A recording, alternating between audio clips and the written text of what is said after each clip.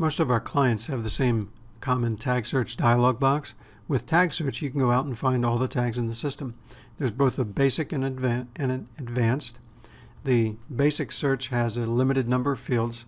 We support the wildcard character of both the asterisk for multiple character match and a question mark for a single character match. So if I can demonstrate the two, when I type CD with an asterisk, it finds uh, three tags there. If I do CD and then an asterisk 158, it finds the same three tags.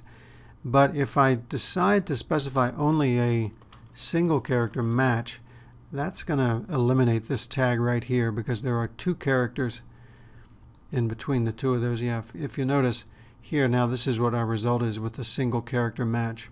And one of the more common mistakes we see people make with this tag search dialog is they forget to reset between searches. So for example, uh, I'm looking for a tag. that has the word reactor in the descriptor. I do a search. Well, it doesn't find any because it's looking for something that has both these criteria met. Let me go ahead and reset, and now I'll, I'll search for reactor. And we should find just those things that have the word reactor in the descriptor. Now, if you have an extremely large system with a large point count, you may want to decide beforehand how you're going to search to speed things up. So for example, you can restrict this uh, just to certain point types, certain point classes, for example.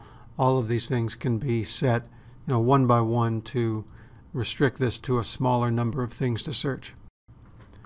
Now one final point to make about this is it's case insensitive, so it doesn't matter what case you use for your search. Uh, we will just go ahead and find whatever it is you search for regardless of case.